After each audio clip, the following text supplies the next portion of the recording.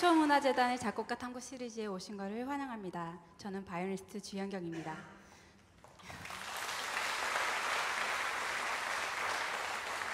바흐가 작곡한 춤곡들을 그 시대의 춤과 함께 연주하면 좋겠다는 생각에서 바흐, 오, 바흐의 작품을 바로크 댄서와 함께 오늘 공연을 준비했습니다. 바로크 시대에는 춤이 많이 중요했다고 합니다. 춤은 사람들끼리 소통하고 인사하는 수단이었죠. 그래서 춤곡들도 많이 작곡이 되었습니다. 바흐의 무반주 바이올린 작품을 바로크 춤과 공연하는 경우는 흔치 않은데요. 여기 오신 여러분들은 좋은 기회를 잡으신 겁니다. 저도 이 공연을 서초문화재단과 함께 기획하면서 설레이는 마음으로 준비를 했는데요. 오늘 공연을 통해 바로크 춤곡에 대해서 조금 더 친근하게 다가갈 수 있으시기를 바라봅니다. 오늘 사용될 바로크 바이올린과 모던 바이올린과의 차이를 간단하게 설명드리겠습니다. 사진의 왼쪽이 바로크 바이올린, 오른쪽이 모던 바이올린인데요. 보시는 바와 같이 몸통의 모양은 같지만 지판의 길이, 목의, 두, 목의 굵기, 그리고 각도가 다릅니다. 또한 바로크 바이올린은 턱받침대가 없고 어깨 받침도 사용하지 않습니다. 이외에 바로크 바이올린은 gut string이라는 양 염소 같은 동물의 창자에서 채취한 부분을 말려서 만든 줄을 사용합니다. 이 줄이 습도와 온도에 매우 예민해서 바로크 공연을 가시면 연주자들이 모던 바이올린보다 훨씬 더 튜닝을 많이 하는 것을 볼 수 있을 겁니다. 저도 바로크 바이올린을 처음 시작했을 때 이런 차이점들 때문에 굉장히 많은 시행착오를 겪었습니다. 심지어는 어, 튜닝해놨던 줄이 연주 중에 계속 내려가고 올라가고 그래서 당황을 했었는데요. 그럼에도 불구하고 바로크 바이올린에서 작지만 울려 퍼지는 그 음색이 굉장히 매력적이라서 계속 연주를 이어가고 있습니다. 악기와 더불어 활을, 활도 차이가 많이 나는데요. 사진을 보시면 위에 활이 바로크 시대 활입니다. 밑으로 갈수록 활대의 곡선이 방향, 곡선의 방향이 바뀌고 길어지는 것을 볼 수 있습니다. 활대의 곡선이 바깥으로 부풀어진 모양의 바로크 활은 연주자가 활대를 눌렀을 때 그 압력이 활끝까지 전해지기가 굉장히 어렵고요. 사진으로 보이지는 않지만 사용되는 활의 털의 양도 적어서 소리의 볼륨이 모던 바이올린에 비해서 많이 약하다고 할 수 있습니다. 그래서 활이 요즘의 활처럼 길어지고 안으로 굽어진 곡선으로 변화하면서 다양한 다이내믹과 테크닉을 구사하기 편하게 발전한 거죠. 바흐는 1685년 독일에서 태어났고 1750년 7월 28일에 서거했는데요. 오늘이 7월 27일이니까 내일이 딱 바흐가 서거한 지 274년이 되는 날입니다.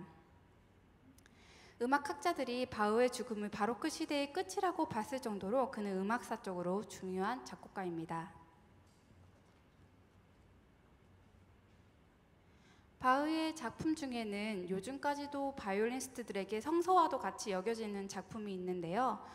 바흐의 여섯 개의 소나타와 파르티타입니다. 이 작품에는 소나타 3개, 파르티타 3개가 포함되어 있는데요. 이 파르티타가 춤 모음곡 형식을 가지고 있고 오늘은 그 중에 1번과 3번이 연주됩니다. 자, 이제 오늘 공연의 첫 곡을 소개시켜 드리겠습니다. 첫 곡이 바흐의 파르티타 3번인데요. 이 곡은 프렐류드, 즉 전주곡이 활기차게 시작이 되고 그 뒤로 다섯 개의 바로크 춤곡들이 뒤를 이어 연주됩니다. 프렐류드 이후에 2악장에서는 loure라는 춤곡이 연주됩니다. loure는 느리고 여유 있는 템포의 프랑스 바로크 댄스인데요. 전체적으로 앞에 pickup note와 붙점 리듬이 특징입니다. 3악장으로 등장하는 춤곡은 가보트인데 가보트는 많이 들어보셨죠? 가보트는 프랑스 민속 음악을 총칭하는 두 박자의 춤인데요. 가볍고 두 박자의 pickup note가 있다는 점이 특징입니다. 특히 바흐가 작곡한 이 가보트는 주제가 메인 주제가 다른 주제들과 교차하면서 반복적으로 등장하는 론도 형식으로 작곡이 되었습니다. 4악장에는 미뉴에트입니다. 미뉴에트는 당시 유럽의 귀족과 중상류층에 가장 인기 있는 삼박자 패턴의 ballroom dance였습니다. 당시 파티에 모인 남녀가 이 춤을 추면서 서로 인사하고 대화를 나누었다고 합니다. 그래서 상당히 여유가 있고 우아한 춤입니다. 다섯 번째로 연주될 불에는 프랑스 남악신 춤이라고 불리기도 했는데요. 원래 불에는 커플이나 더 큰 그룹의 전통 춤이었는데 16세기 마고드 발루아가 오베르니에 머무는 동안 불에를 발견했고 파리로 돌아와서 궁정 춤으로 만들었다고 합니다.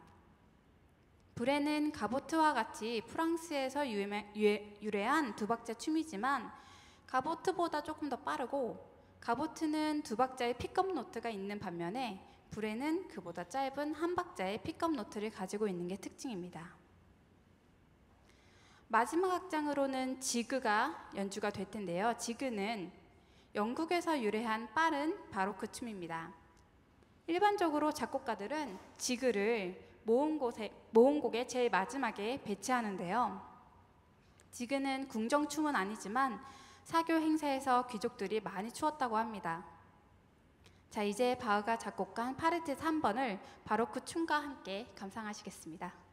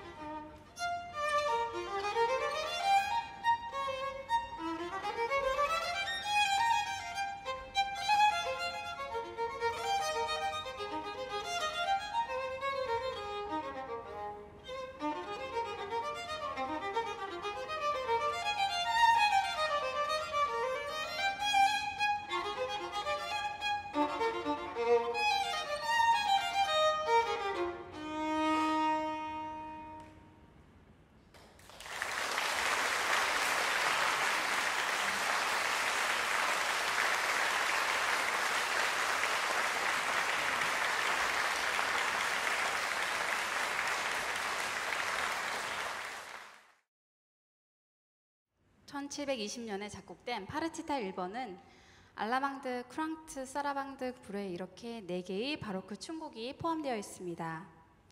그리고 춤곡들 사이마다 double이라는 곡들이 더해져서 전체는 8개의 악장으로 이루어져 있습니다. double은 각 춤곡의 변주곡이라고 보시면 됩니다. 처음으로 연주될 알라망드는 프랑스에 유행한 독일풍의 두 박자 춤곡입니다. 보통 빠르기와 짧은 픽업을 갖는 특징이 있고 우아하면서도 남성적인 춤의 느낌입니다. 프랑트는 16세기 후반부터 기악으로서의 형태가 나타나기 시작했는데요. 모음, 모음곡 형태에서는 보통 알라망드 뒤에 연주가 됩니다. 이탈리아풍을 코렌테라고 하고 프랑스풍을 크랑트라고 하는데요. 코렌테는 빠른 3박자이고 크랑테는 조금 느린 속도인 2분의 3박자 또는 4분의 6박자가 특징입니다. 바로크 시대의 춤곡 중 하나인 사라방드는 3박자 외에 3박자의 춤곡이면서 두, 박자, 두 번째 박자에 강세가 있는 게 특징입니다. 사라방드라는 말의 뜻을 사전적 의미를 살펴보면 느리고 우아한 스페인 춤곡입니다. 바흐의 사라방드는 우아하면서도 슬픈 느낌이 드는 아름다운 작품입니다.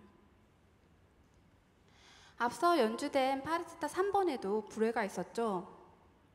파르티타 1번에도 불회가 있는데요. 보통 끝에 지그를 넣는 대신에 이 1번에는 불회가 들어가 있습니다. 1번의 불회는 3번의 불회보다 두 박자의 패턴이 강조가 되는 느낌이고 더 힘차게 연주되는 느낌인데요. 남학신의 춤이라는 별명이 정말 잘 어울리는 작품이라고 생각합니다. 그럼 이제 바흐의 파르티타 1번을 바로크 댄서 신지아님과 함께 들려드리겠습니다.